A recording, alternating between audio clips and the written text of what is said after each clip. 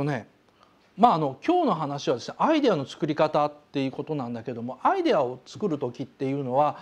大体なんかねゼロから考えるから間違いがあるんであって僕のあの考えのなんですけどもアイデアっていうのは基本的に持ってくるもんなんだ。持ってくるね。つまり作るものとかですね生み出すものとか考え出すんじゃなくて持ってくるもの。で、まあ、うまくパクれっていうふうに今ちょっとコメントが流れてるけどパクるっていうのでもないんだよな。多分ねそのアイデアを出すタイプの人っていうのは持ってくるという表現でみんな納得してくれると思うんだけどもあの下手な人ほど生み生み出そうとするんだ。であのアイデアの作り方ってあのアイデアって本があるんだけどアイデアっていうのは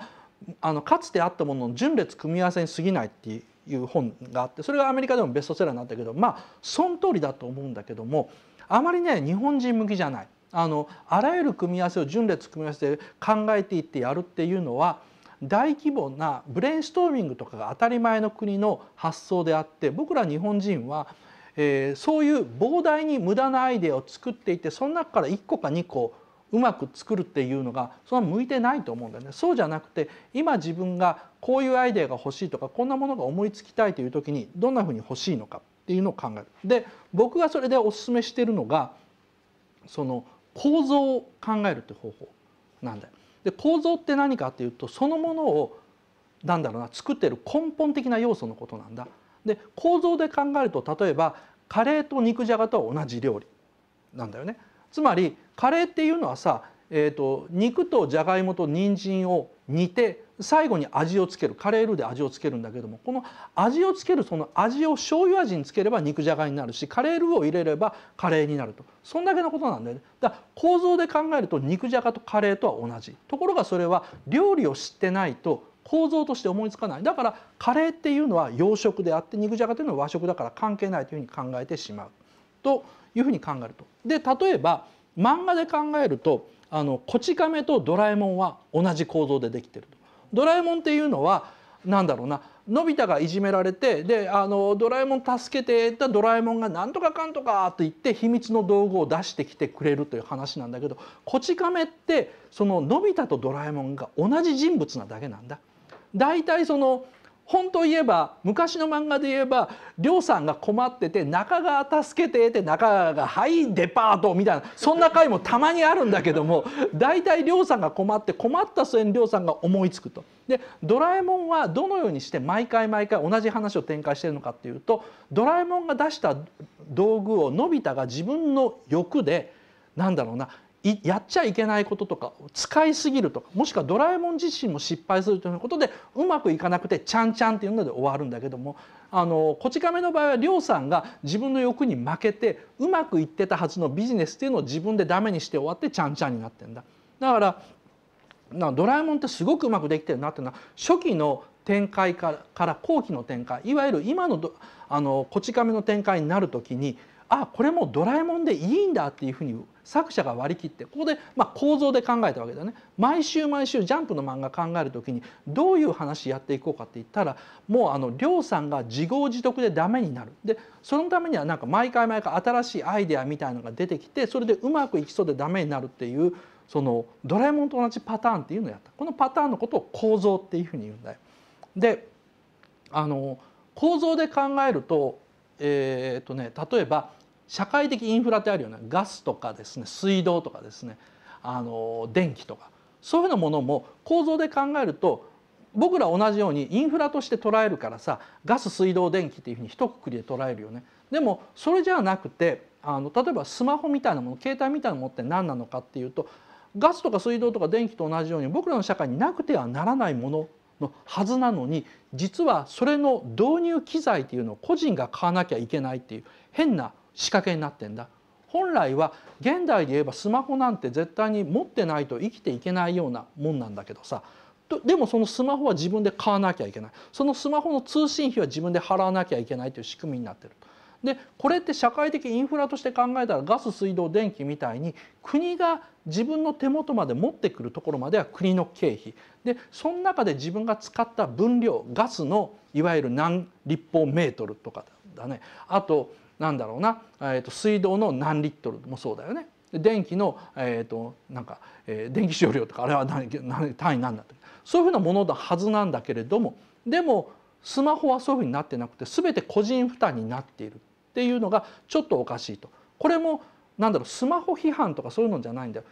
これも同じインフラだというふうに構造で考えてくるとじゃあなんでこういうふうになってるんだろう？じゃあテレビはどういうふうになってるんだというふうに発想がこう横にパラパラパラっと広がるとこういうなんかドラえもんとこち亀は同じだとかカレーと肉じゃが同じだとかスマホといわゆる電気ガス水道同じかもしれないというふうに並べてみるといろんなアイデアが出てきやすい。アイデアっていうのは何か一つの結果考える時にそれと似たものなんだろうかというふうに考えるところから出てくる。ということでですね今回はなんか漫画でわかるということなのでですねあの漫画を例にしてですねアイデアの出し方やってみようと思う。でちょっと立って話するね。今日はですねよいしょあの大学の講義であのよく使ってる話なのでですね大体あの8年ぐらい6年ぐらい前に僕あの講義でよく使ってたネタを久しぶりにちょっとやってみます。でえっ、ー、とデスノートっていうのあるよね。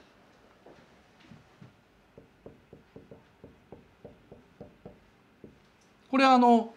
えーと、漫画家になりたい人とかそういうのに対しての講義だったのですね。その時に問答無用でみんな読んでる漫画なんだろうかって考えてたんだ。で僕最初に、えー、大学で講義する時によく実例として出したのが「ドラゴンボール」だったんだけどもところがどんどんどんどん世代が下っていくにつれて「ドラゴンボール」読んだことがありませんとかですね。だから「ドラゴンボール」は GT しか見てませんというとんでもない世代が上がってきてこれどうしたもんだろうかってことだなんでところがあのデスノートだけはなぜか男子も女子もよく読んでたんだよねなのでデスノートっていうのをテキストに使ったでアイデアの作り方っていうのは、えー、っとこれを少女漫画にするにはどういうふうにすればいいのか。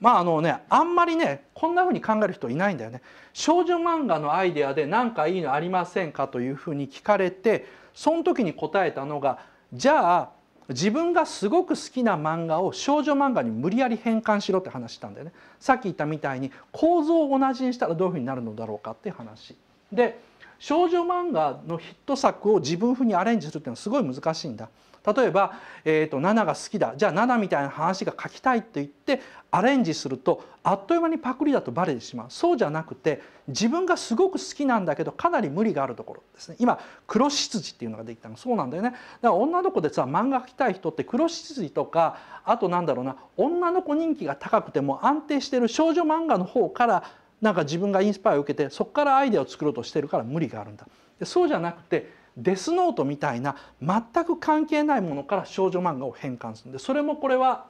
仲良しとかリボンに投稿できるものにしようとここであのちょっと枠を設けたわけだね。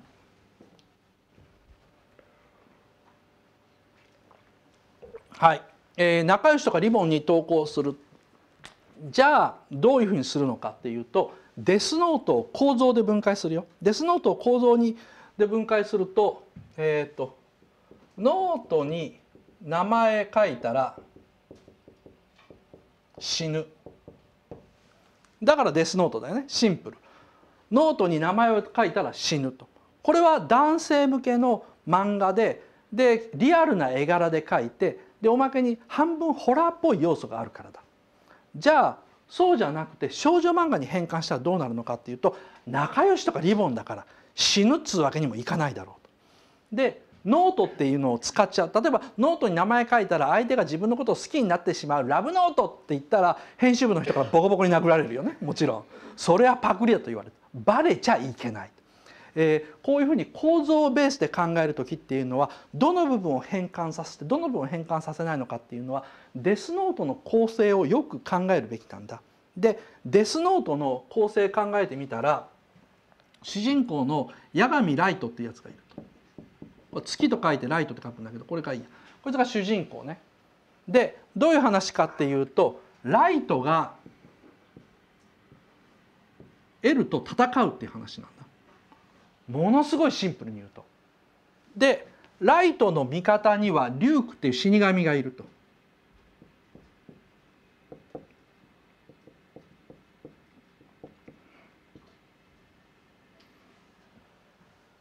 はい、すごくあのシンプルに書くよ。死神リュークがお味方につけたライトはノートに名前を書くことで人を殺すことができる。でえー、ライトが犯人ではないかと気づいた勘で思った、えー、L はひたすらライトを責め立てるというかいろんな証拠みたいなものを探したりして、えー、こいつを逮捕しようとするという追っかけっこの物語なんだ。で中心にあるのはノートライト L でもこれだけだったらですねあまりにもライトが有利なんだよね。なのでここに父親という要素があると。実は構造で分析しないと分かんないんだ構造でね分析しないと例えば八神ライト側にいるミサミサとかさミサ、えー、アマネミサとかねいろんなキャラクターが気になってきちゃうんだけども実は構造で考えると大事なのはライトと L と父親なんだよ。この父親が刑事さんなんだけどこの刑事がいないともライトと L って関係の持ちようがないんだよね。国際的に有名な探偵の L とそして単なる受験生高校生だったライトっていうのを結びつけるのはこの父親だけなんだこれが刑事だからいけてるんだよね。ところが漫画の中では大して言う言うなんだろう強いキャラクターとして書いてない。なんでかというと平凡な正義感を持って操作能力もまあ普通程度のまあ人のいい刑事さんとして書いてるんだよね。なのでこの父親のあのキャラクターがクローズアップされてないんだけど構造にとするとものすごい重要でだから、えー、この人を今ここに書くんだけどもではこの構造をベースにして、えーと、少女漫画にしてみよう。で少女漫画にする時はデスノートってわけにいかないさっきも言ったように。なのでもっと分かりやすくノートよりは女の子に共感を生んでです。死ぬことよりもなかよしやりぼんの読者に共感を呼ぶことというふうなことでラブスマホ、ね、まああの8年前はラブ携帯って言ったんだ。えっ、と恋愛のスマホというふうにしてみる。こんぐらいでいいんだ。でラブスマホとかラブ携帯って言ったらまさかデスノートって思う編集者あんまりいないんだよね。でこれだけでいいと。でさてじゃあこれで電話して私のことを好きになってって言ったら好きになってくれる携帯みたいに設定してしまうとあまりにも万能すぎる。実はデスノートにも能力の限界があると。名前と顔を両方知っていなければいけないとか死因を書いたら何分後に死んでしまうとかいろんな制約があってなんだろうな。例えば L を殺したいと思っても L を殺すって書いても絶対ダメなんだ。というふうに制約をつけるわけなんだけどもなのでノートに名前を書いたら死ぬではなくていくつかの制約をつけないとドラマとして使いにくいので、えー、電話すると本音を話す。